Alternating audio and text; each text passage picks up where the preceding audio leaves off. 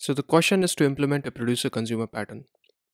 In this pattern, we have one or more producers who will produce some kind of items or objects.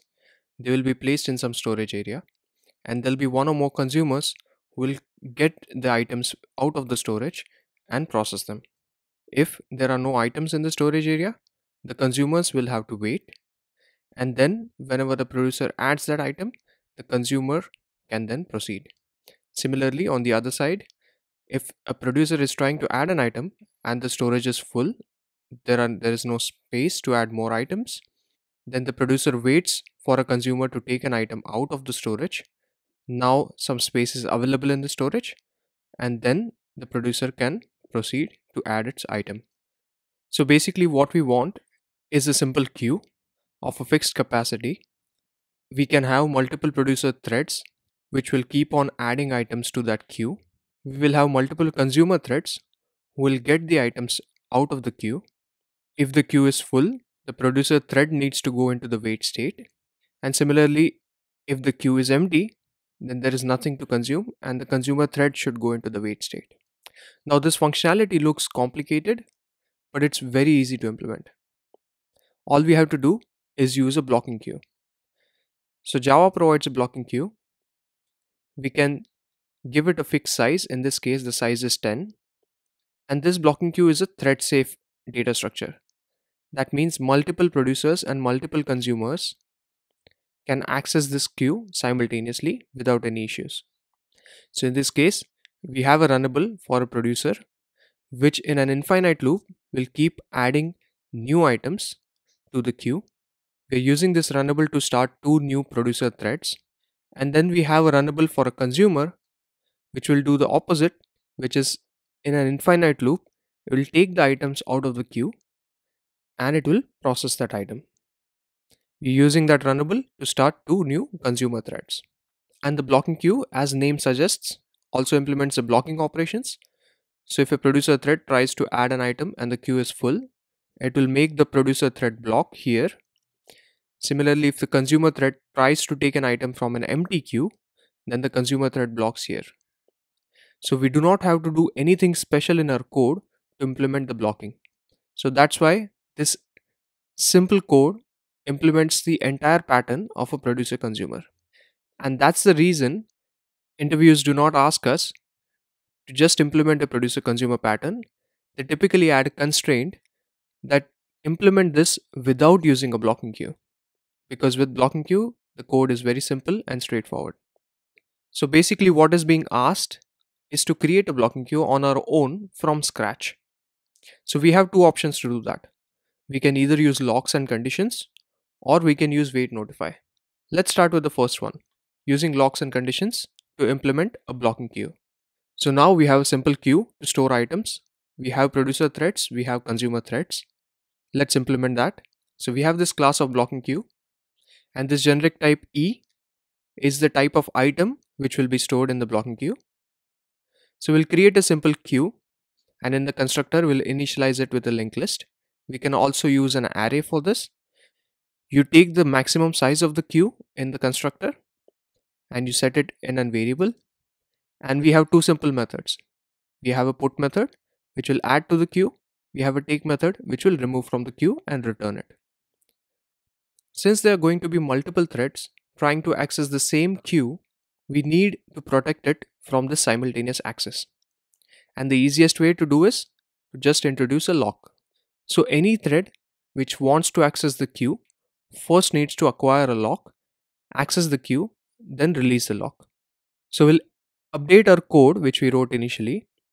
So in our put method, we'll surround our queue.add with acquiring the lock and releasing the lock. Similarly, for the take, We'll surround our queue.remove operation with acquiring the lock and releasing the lock. And this lock is of type reentrant lock. So still a straightforward code, nothing too complicated.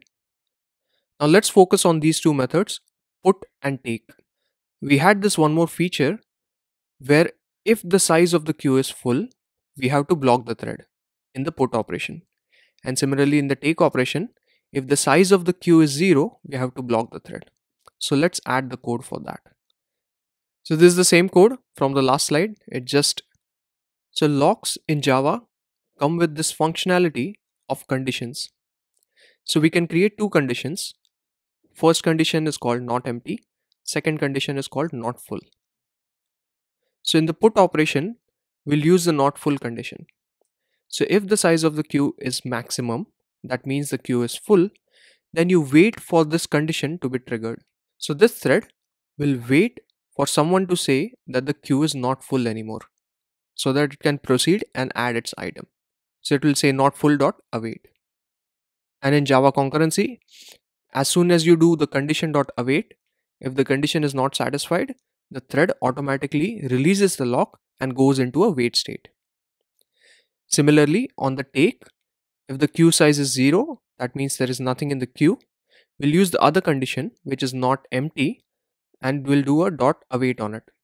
That means the consumer thread says I'm waiting for someone to say that the queue is not empty so that I can proceed and take an item out of the queue. Same thing will happen to this. It will release the lock temporarily and will go into the wait state waiting for this condition to be satisfied. Now both these threads, the producer as well as the consumer are waiting for a certain condition. But who will trigger that condition? So here we have a consumer thread. It is waiting for this condition of not empty. As soon as producer adds an item to the queue, it knows that there is something in the queue now.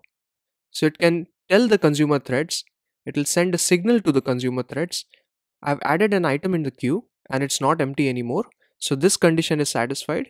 You can go further. Similarly, whenever a producer thread is waiting for the queue which is full, the consumer thread can do the same. It'll take an item out of the queue and it will send a signal to the producer thread. I've removed an item from the queue, so it's definitely not full anymore and you can proceed with your addition. So let's add that into our code. So here we are looking at the put operation. That is the producer.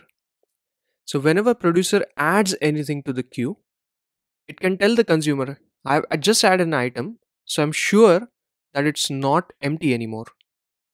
So you can say not empty dot signal all.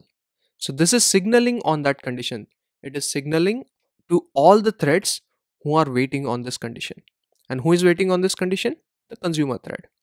On the other side, the consumer, after it has taken out an item from the queue, can signal all the threads who are waiting for this condition of not full.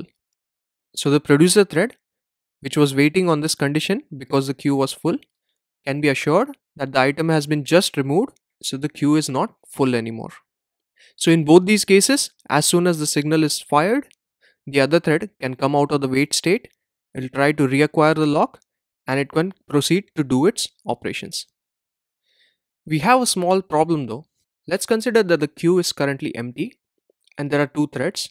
Both are waiting for this condition to be satisfied. A producer thread comes along with a single item and it adds that item to the queue. It sends a signal to all the threads waiting for the condition saying that I've just added an item so the queue is not empty anymore.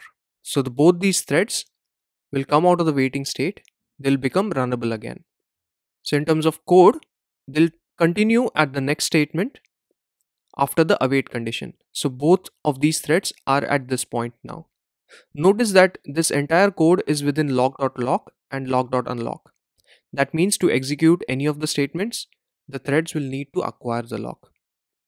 So only one thread can acquire the lock. Now let's say thread 2 acquires that lock.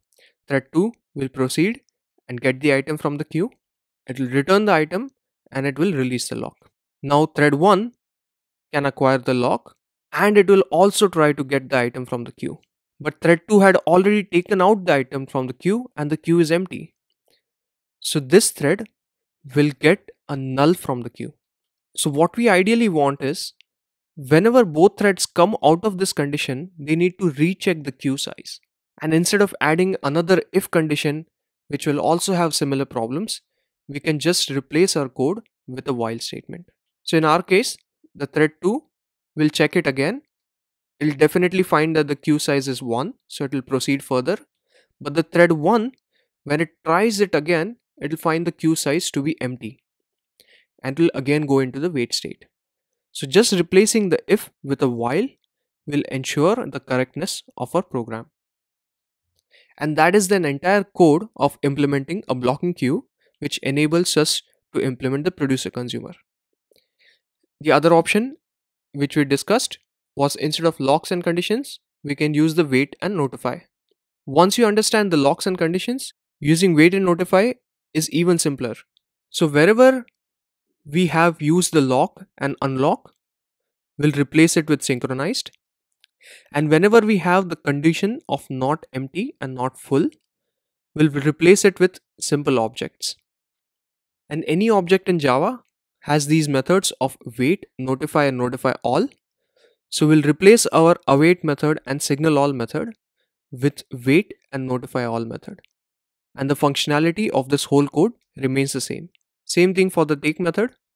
Replace the locks with synchronized keyword. Replace the conditions with objects of any type. And replace the await and signal all methods with wait and notify all. That's it for this video. Thanks a lot for watching and see you in the next one. Bye.